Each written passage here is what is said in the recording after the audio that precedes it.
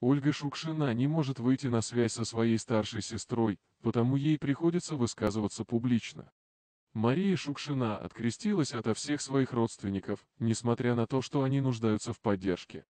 Об этом Ольга во всеуслышание заявила на шоу «Секрет на миллион», уточнив, что сама она оказалась у Марии буквально в черном списке, не может ей даже позвонить.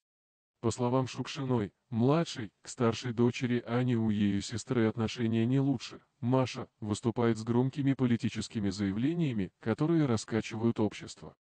Но не приезжает к маме. Я даже не могу набрать, не хочет меня видеть. Я не верю в машины лозунги. С Аней они также не разговаривают годами.